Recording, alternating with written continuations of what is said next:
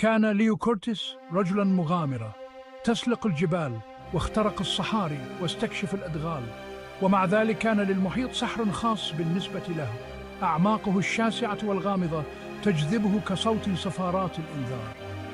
كان ليو يتوق لكشف الأسرار المخفية تحت الأمواج لاستكشاف الحدود النهائية للأرض. كان يحلم باكتشاف حياة جديدة وكنوز غارقة وحضارات مفقودة. في أحد الأيام في متجر للتحف القديمة في القاهرة عثر ليو على خريطة مهترئة كانت تصور مملكة مخفية بعيدة في أعماق المحيط. كانت تلك المملكة هي أطلانتس. تحدثت الأساطير عن تقنيتها المتقدمة وسحرها القوي وكلها فقدت في البحر. هل يمكن أن تكون هذه الخريطة هي المفتاح للعثور عليها؟ شعر ليو بموجة من الإثارة كانت هذه هي المغامرة التي كان ينتظرها. كان ليو يعلم أن الرحلة ستكون محفوفة بالمخاطر. فالمحيط عشيقة خطيرة لا يمكن التنبؤ بتقلباتها. لكنه لم يكن من الرجال الذين يتراجعون أمام التحدي. سيجمع أفضل طاقم ويجهز نفسه بأحدث التقنيات المتاحة. كان مصمما على العثور على أطلانتس حتى لو كان ذلك يعني المخاطر بكل شيء. اكتشف ليو أن الخريطة كانت أكثر من مجرد رسم تخطيطي. كانت لغزا أدلتها مخفية في رموز غامضة ولغات قديمة. أمضى شهورا في فك رموز أسرارها مستشيرا المؤرخين وعلماء الآثار وعلماء المحيطات. علم عن قوة أطلانتس الأسطورية واتقانها للطاقة واتصالها بالمحيط نفسه. علم عن سقوطها المفاجئ والكارثي. وغرقها في الأمواج. اكتشف أن الخريطة تتحدث عن سلسلة من التجارب اختبارات للأشخاص الذين يسعون للوصول إلى أطلانتس. فقط أولئك الذين يتحلون بالشجاعة والذكاء واحترام المحيط سيعتبرون جديرين بدخول المدينة. احتضنوا هذه التحديات.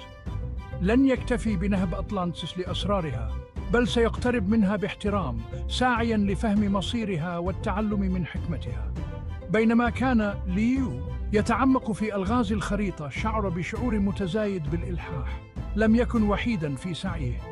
جذبت همسات أطلانتس انتباه الآخرين البعض مدفوعا بالجشع والبعض الآخر بالقوة. كان ليو يعلم أن يجب أن يصل إلى أطلانتس أولا لحمايتها من أولئك الذين سيستغلون معرفتها لأغراضهم الأنانية. استخدم ليو ثروته الكبيرة لإصدار أمر ببناء غواصة فائقة التطور.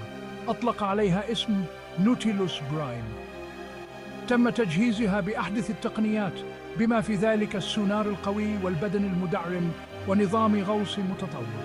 وكانت مجهزة لمواجهة الضغوط الساحقة وأعماق المحيط القاسية. جمع طاقما من الغواصين والملاحين والمهندسين الخبراء تم اختيار كل واحد منهم لمهاراته ولولائه الراسخ. بدأت رحلتهم في المياه الدافئة للبحر الأبيض المتوسط حيث أشارت الخريطة إلى موقع الدليل الأول. واجهوا تيارات غادرة وأبحروا عبر غابات عشبية كثيفة مليئة بالحياة. وواجهوا مخلوقات عجيبة ومرعبة حبار عملاق بعيون كبيرة وقناديل بحر مضيئة حية تشع ضوءا غريبا وأسماك قرش بصفوف من الأسنان الحادة. من خلال كل تحد لم يتزعزع عزم ليو كان يقود بمزيج من الثقة والحذر دائما يحترم قوة المحيط. كان يعلم أن كل غطسة ناجحة وكل عقبة يتم التغلب عليها تقربه خطوة واحدة من هدفه. كانت أسطورة أطلانتس على وشك أن تصبح حقيقة.